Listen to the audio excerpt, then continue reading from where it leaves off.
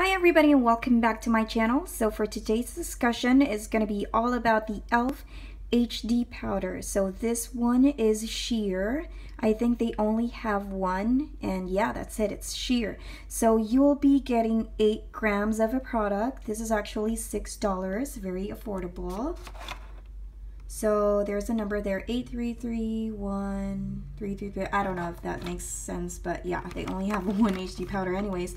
But yeah, let's just go ahead and take a look at the back of the package. It says here, HD powder helps mask fine lines for a radiant complexion. High definition loose powder creates a soft focus effect to the skin and helps mask fine lines and imperfections. Microfine particles are designed to be used every day or with HD camera technology. Directions apply powder all over the face. So let's go ahead and open this baby up. So the packaging looks like this. It is color black and it's matte. I like it. I like everything that looks matte. so there's nothing at the bottom, no ingredients, no instructions. Everything is on the box. So yeah, that's it. So I'm just going to carefully open this one now so that we can see what's inside. I actually like the design of some e.l.f. products because it's just really simple, sleek, and it looks professional. So let's just open this up right now. Twisting it really slowly because I've actually removed the seal already so I'm just afraid that everything might just pop in front of my face. So it has a powder puff included. Looks like that. It is really soft and nice, but it's not it's not high quality, if you know what I mean, but it's decent. It's like it is wrapped up with this, uh, what's this? It's like a mimic of a bunny, bunny hair texture, but I think what's inside is like a sponge because I can totally feel it. So when you touch the powder, it's so fine that it's just easily gliding through your fingers. It's so, so micro fine. I don't know how to explain it, but it's very lightweight and it's very, very silky and smooth. Now let's go ahead and try that on my face. I am going to grab a product using the powder puff. Great, I just wasted some product. And I'm going to start under my eyes, more of like baking so I'm just patting it with a little bit of pressure.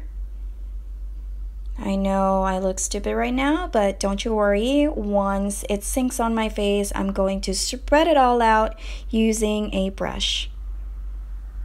So after leaving that for like three minutes, two minutes, three minutes, I'm going to use this clean brush and spread that all over my face. Just like that. I'm doing this very lightly to avoid the caking. After this, I'm going to complete the rest of my makeup and do a photo test. So first, I'm going to do a photo test without flash. So it looks like that. It looks absolutely flawless. I don't even look like I have pores miraculously. This is amazing. So with flash, my first initial reaction is, what the freaking hell?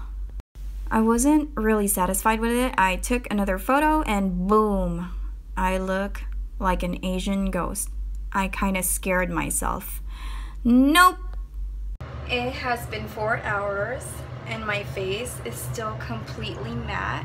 I'm very happy about that, although my nose, although on my nose bridge you can see that there is like a little bit of oil popping through but overall it still looks nice. So I'm gonna check back after two to three hours and see if this is still good. It has been a total of seven and a half hours and my face without physical activities still looks amazing.